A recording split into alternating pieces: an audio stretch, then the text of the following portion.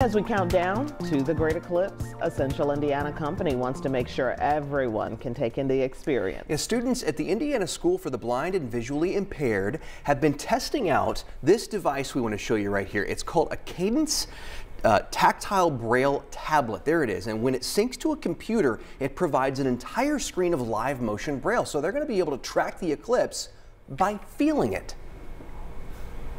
If you want to see something moving, such as the eclipse, the moon going over the sun, um, you can actually feel that moving across the screen. I've always been interested in outer space, science, and all that stuff, but since I'm legally blind, like I've never been able to fully experience it. To be able to feel that is something that has never been done before, and so I'm very excited to be one of the people that's going to be able to experience that.